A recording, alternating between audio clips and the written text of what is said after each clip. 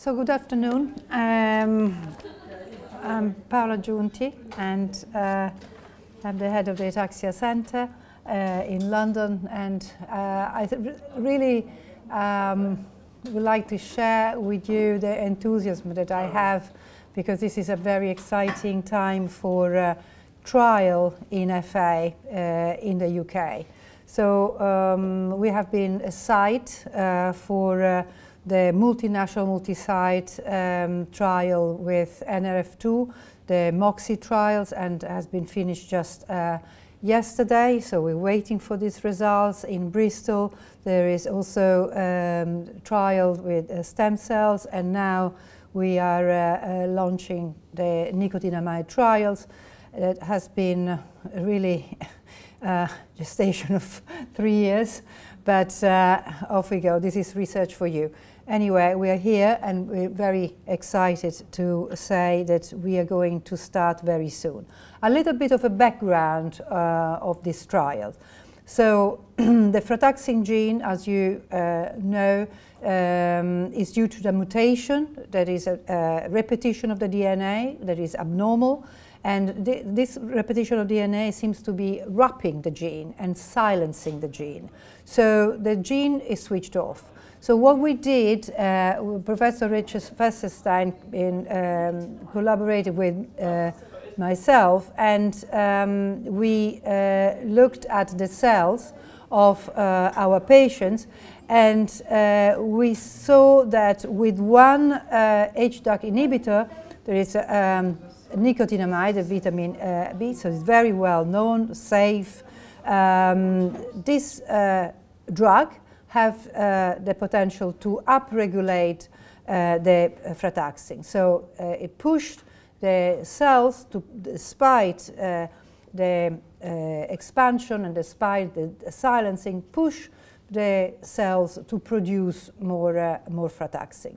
So um, we published this, and thanks uh, to this publication, then we moved on to uh, have a pilot trial, and the pilot trial was uh, um, located at Imperial. Um, 10 people uh, with FA were recruited with a very high dose of nicotinamide. So it, uh, something like, you know, 100 times the uh, normal dose. And um, this is something obviously that uh, has uh, side effects, has had side effect because Although some uh, compounds are uh, licensed and they do not have effect um, in small dose, in very high dose can be very dangerous. So we need to, to have this one in a proper controlled way so that if something would happen, then we could immediately intervene for the safety of the patient. So we did not know uh, how much of uh, nicotinamide could be tolerated by a patient with FA. So we did that and we looked at again the blood uh, of our patients and we saw uh, that was a consistent upregulation, so increase of the protein that is lacking in FA called frataxin. So this is uh, now um, time, the move uh, forwards from the pilot trial to uh, what we call it uh, phase three. So is uh, the phase in which, in addition to the efficacy, in addition to the safety that we could continue to obviously record, we will look as well if this nicotinamide uh, given at a high dose for two years could modify the progression of the disease. So patients uh, and also Ataxia UK were involved in the way the trial was designed. And this is quite important because then um, we listen to the patients as well, uh, willingness to participate and how they wanted to be involved. So we did all that, and at the moment we are uh, submitting to ethics uh, the protocol. The participant uh, must have so the, uh, an age between 18 and 50.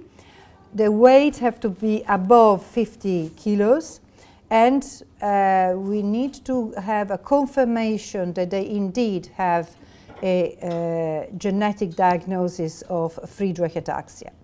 We also will look at the level of disability of uh, these patients and uh, the patient needs to have a SARA score. I'm sure that all the patients uh, who are in this room uh, come to our center are very familiar with SARA. The one who hasn't, SARA is basically a rating scale for ataxia. So we have a different score for the way that the patient are walking, standing, the level of uh, the patient's ataxic movement in the arms and uh, in the legs and the speech. So the score is 0 to 40. 0 is uh, normal, but in, you are allowed as a control to have up to 3, and then um, become uh, pathological, and uh, you are uh, ataxic, and the score will be 7 to 28 out of 40. 40, it means that um, the patient can't move at all. So uh, very extreme uh, ataxic. So, and um, the study is a multi-centric and multinational uh, study. Involved the uh, UK, Germany, Austria, Italy, Spain, and France. And we are, uh, um, we need to recruit 225 patients. So it's a lot of patients, the majority of which are going to be recruited in the UK. So around 90 who is in the trial. And the trial is uh, the London Ataxia Centre, so University College uh, London um, hospitals and Imperial College London. And the participant needs to travel uh, to one of these centres um, to go through uh, the inclusion exclusion criteria, the first uh, visit and the recruitment, and finally to go on for uh, um, participate to the to the uh, study. The travel cost will be reimbursed for this, and this is the protocol. So we are going to have a phase A and a phase B. And as you can see here, uh, for uh, months to zero, we are going to have the screening, patient information, will be uh, given to the patient. Then we can collect the medical history, vital sign, physical examination, blood collection, and then the clinical test, like uh, SARA.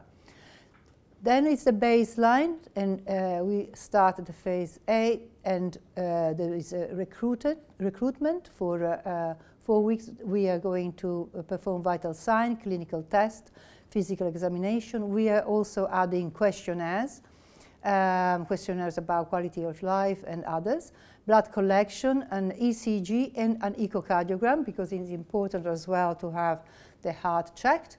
And uh, we uh, want to explore if the nicotinamide also has an effect on the heart.